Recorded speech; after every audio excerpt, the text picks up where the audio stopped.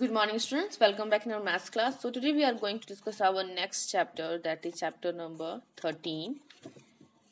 क्योंकि ये आपके फाइनल टर्म के सिलेबस में है ठीक है? और हम लोग यहीं से स्टार्ट करेंगे। ठीक?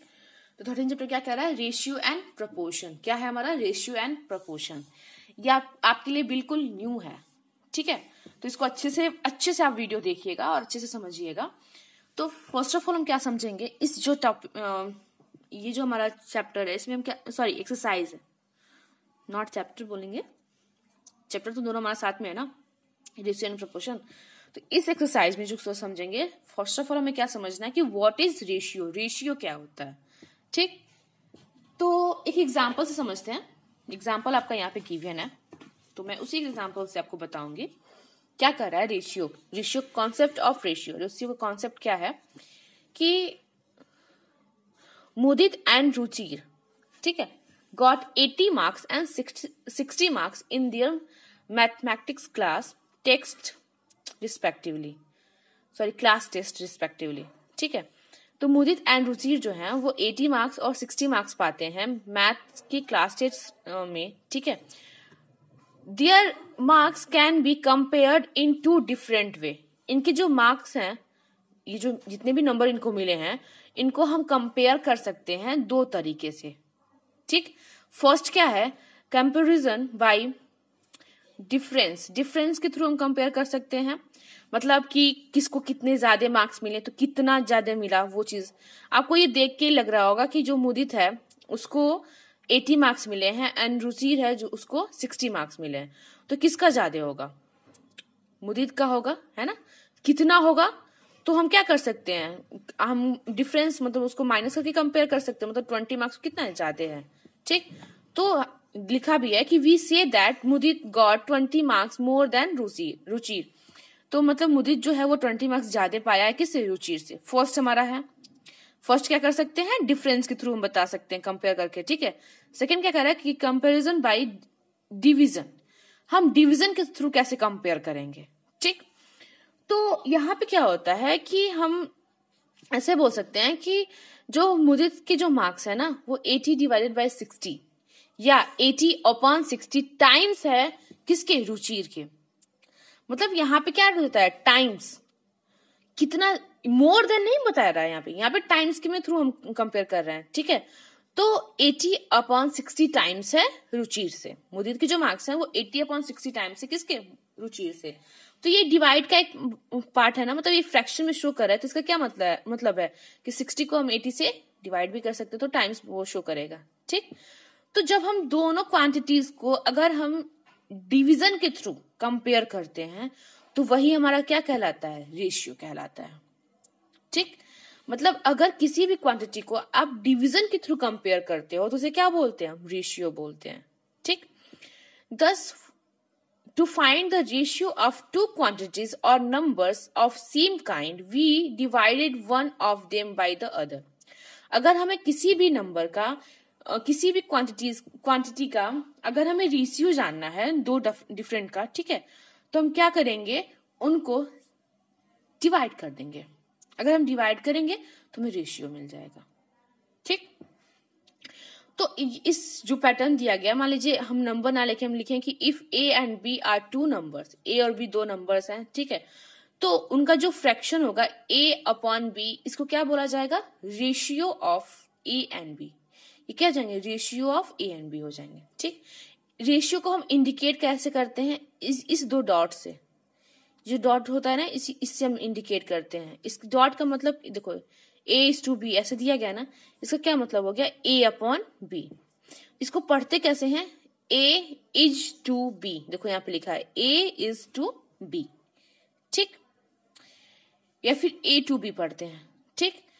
रेशियो का ये सिंबल होता है। ये जो दो डॉट है ना, ये रेशियो के क्या है? सिंबल है। ठीक है?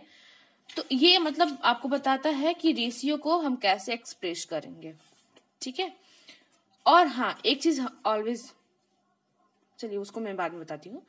तो ये सिंबल होता है और ये हमारा क्या होता है? रेशियो को इंडिकेशन करने का तरीका।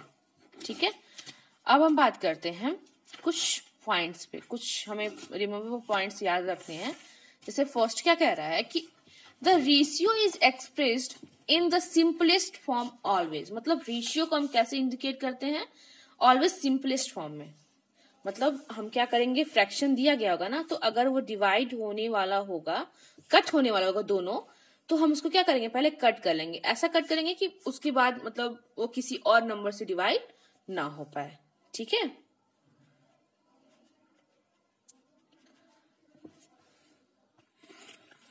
देखिए, इसको आपको कॉपी में राइट करना पड़ेगा, ठीक है?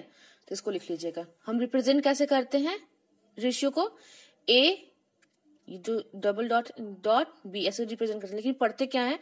ए इज़ टू बी या ए टू बी ठीक है? यहाँ पे ऐसे डॉट रहेगा, ठीक? तो रेशियो क्या होता है? ये कंपेयर होता है किसमें? डिवीज़न में। डिवीज़न के थ्रू जब हम किसी दो नंबर्स को कंपेयर करते हैं, या दो क्वांटिटी को कंपेयर करते हैं, उसे क्या बोलते हैं? रेशियो बोलते हैं, ठीक है? तो हाँ एक चीज़ और याद रखिएगा कि जब कभी भी आप किसी भी नंबर को कंपेयर करिएगा, किसी भी क्वांटिटी को कंपेयर करिएगा तो उसकी यूनिट आपकी सेम होनी चाहिए। ऐसा नहीं होना चाहिए कि एक, मान लीजिए आप कंपेयर कर रहे हो मीटर को, ठीक है? तो लेंथ को कंपेयर कर रहे हो, ठीक? तो ऐसा नहीं होना चाहिए कि एक नंबर आपका मीटर में होना चाहिए तो दूसरा नंबर सेंटीमीटर में हो। आपको क्या आपको क्या करना होगा? दोनों को या तो आप मीटर में कन्वर्ट करिए, तब कंपेयर करिए, या फिर आप उसको सेंटीमीटर में कन्वर्ट कर लीजिए, तब कंपेयर करिए। ठीक है? और हाँ मोस्ट इंपॉर्टेंट थिंग रेशियो की कभी कोई यूनिट नहीं होती है। रेशियो का खुद का कोई यूनिट नहीं होता है। अगर कोई भी नंबर आपका यहाँ पे दिया गया ना, जैसे यहाँ पे देखो ये तो नंबर दिया गया ना, यहाँ पे देखो, ये पैसे एंड रुपीज़ हैं। तो ये देखो, यहाँ पे क्या है, हम या तो इसको पैसे में कन्वर्ट कर लें रुपीज़ को भी, या फिर हम इस पैसे को रुपी में कन्वर्ट कर लें, ठीक? तो हमने यहाँ पे क्या किया? यहाँ पे हमने पैसे को रुपी में कन्वर्ट कर लिया। तो दोनों दोनों क्या हो गए? पैसे हो गए।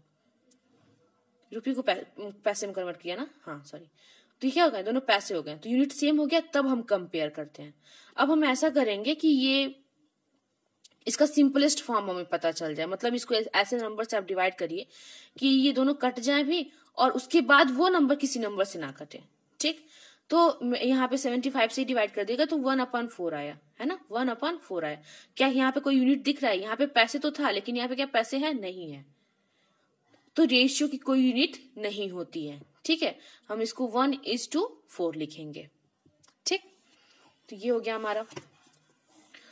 अब, देखो, यहाँ पे दिया गया the number of boys and girls in school is five hundred and two hundred seventy five respectively find the ratio of number of आपको रेशियो ऑफ़ नंबर ऑफ़ बताने हैं boys to girls boys to girls तो boys के five hundred है and girls के क्या है? To hundred seventy five तो इसको हम ऐसे डिवीज़न फॉर्म में लिख लेंगे फ्रैक्शन फॉर्म में। उसके बाद इसको ऐसा कट करिए कि ये जो दोनों नंबर्स हैं, किसी एक नंबर से डिवाइड हो जाए और कब तक कट करना है कि जो हमें लास्ट में नंबर आए ना, वो किसी और नंबर से डिवाइड ना हो पाए। तो दोनों सेम से ही आपको डिवाइड करना मतलब अगर आप इसको ट्वेंटी फाइव से डिवाइड करो तो इसको भी ट्वेंटी फाइव से डिवाइड करिए। इसको आप फाइव से डिवाइड करें तो भी इसको भी फाइव से डिवाइड करिए, ठीक है? इस तरह करते हैं। ठीक? तो चलिए हम एक्सरसाइज पे पढ़ते हैं। एक्सरसाइज से फिर हम समझते हैं क्या होगा। कि 13.1 क्या कह रहा है कि fill in the blanks the ratio of five and ten is ratio आपको बताना है किसका? फाइव एंड टेन इज़ तो आप क्या करोगे? वेट हम क्या लिखेंगे? रेशियो इज़ इक्वल टू किसका पूछा? है फाइव एंड टेन तो हम फाइव अपॉन टेन लिखेंगे ऐसे करके. हम डिवाइड फॉर्म में इसको रिप्रेजेंट करेंगे. ठीक है? तो आपको क्या देख के लग रहा होगा फाइव से फाइव भी कट जाएगा और फाइव से टेन भी डिवाइड हो जाएगा। तो आप क्या करिए फाइव डिवाइडेड बाई फाइव कर दीजिए और five ten divided by five कर दीजिए। फाइव से दोनों डिवाइड हो जाएँगे, है ना? तो जब डिवाइड करेंगे तो क्या जाएगा? फाइव से फाइव को डिवाइड करोगे तो वन आएगा और टेन को फाइव से डिवाइड करोगे तो क्या जाएगा? टू आ जाएगा। तो यही हमारा क्या है? ये हमारा सिंपलेस्ट फॉर्म है। क्या वन अपॉइंट टू को किसी भी नंबर से हम डिवाइड कर सकते हैं? नहीं कर सकते ना? तो जब सिंपलेस्ट फॉर्म आ गया तो क्या लिखेंगे? वन इज़ टू टू तो ये हमारा क्या हो जाएगा? रेशियो यहाँ का क्या हो जाएगा? वन इज़ टू टू ठीक है? अब देखो जैसे यहाँ पे मीट आ, इसको तो आप कर लोगे twenty one and twenty twenty eight है। तो सेवन से दोनों को डिवाइड करेंगे तो ये दोनों डिवाइड हो जाएँगे है ना? सेवन एंड सिक्स है तो ये किसी से डिवाइड नहीं होगा तो सेवन इज़ टू सिक्स इसका रेशियो आएगा। इसमें क्या करना है? देखो ये वन हंड्रेड मीटर है और ये वन किलोमीटर है। तो सबसे पहले आप किलोमीटर को मीटर में कन्वर्ट कर दीजिए। क्योंकि आपको वो इजी होगा आपके लिए। क्यों? क्योंकि आपको पता है कि one kilometre is equal to one thousand metre होता है, यही होता है ना? तो हम लिखेंगे फिर again ratio is equal to क्या दिया गया hundred metre upon one kilometre ये दिया गया ना? तो देखो, दोनों यूनिट अलग अलग है तो हम एक यूनिट में कन्वर्ट करेंगे। तो हम क्या करेंगे? किलोमीटर को ही मीटर में कन्वर्ट कर देंगे। तो क्या हो जाएगा? वन थाउज़ेंड मीटर ठीक है? तो अब मीटर से मीटर तो यहाँ से हट जाएगा। और देखो, यहाँ पे वन ज़ीरो से वन ज़ीरो कैंसिल हो गया, फिर वन ज़ीरो से ये भी वन ज़ीरो कैंसिल हो गया। क्या बच गया? One upon ten. तो वन अपॉन टेन ये क्या शो कर रहा है? हमारा रेशियो शो कर रहा है। क्यों? क्योंकि अब इसके आगे हम डिवाइड नहीं कर सकते। ठीक है? क्वेश्चन नंबर टू क्या कह रहा है कि Neha got 850 marks out of 1000 and Shivani got 375 marks out of 500 express their marks in ratio अब यहाँ पे नेहा के मार्क्स को भी आपको रेशियो में रिप्रेजेंट करना है एंड शिवानी के भी मार्क्स को। तो क्या करोगे? लिखोगे Neha got marks is equal to eight eight hundred fifty upon कितना पाई है? वन थाउज़ेंड में पाई है ना? वन थाउज़ेंड तो रेशियो नीचे लिख के आप ये जिससे डिवाइड होगा, उससे डिवाइड करके यहाँ पे आप रेशियो शो कर सकते हो। ठीक है? वैसे शिवानी के साथ भी करिएगा। हो जाएगा। थर्ड क्या कह रहा है कि out of thirty two teachers in a school twelve are male and remaining are female एक स्कूल में थर्टी टू टीचर्स हैं जिसमें ट्वेल्व जो है वो मेल है बाकी जित, जितने टीचर्स हैं वो क्या है? फीमेल है ठीक है? Find the ratio of number of male to female अब आपको रेशियो बताना है मेल टू फीमेल में ठीक? तो सबसे पहले हम निकालेंगे कि फीमेल कितनी है। तो आप क्या करोगे? थर्टी टू से ट्वेल्व को माइनस कर दोगे तो ट्वेंटी आएगा। ट्वेंटी तो आएगा। तो ट्वेंटी क्या है? फीमेल है। तो अब रेशियो फ़र्स्ट वाला बताना है किसमें? मेल टू फीमेल में। तो रेशियो लिखेंगे और मेल कितने हैं? ट्वेल्व और फीमेल कितने हैं? ट्वेंटी। देखो, ये टू से डिवाइड होंगे। टू से डिवाइड कर दीजिए। तो जब टू से आप डिवाइड कर रहे हो तो ये आपका हो जा रहा है क्या? सिक्स अपॉन टेन अभी भी ये टू से डिवाइड होगा तो टू से डिवाइड कर दीजिए अगेन ठीक? तो ये जाएगा थ्री अपॉन फाइव तो थ्री अपॉन फाइव किसी से डिवाइड नहीं होगा तो इसका मेल टू फीमेल का रेशियो क्या हो जाएगा? थ्री इज़ टू फाइव ठीक है?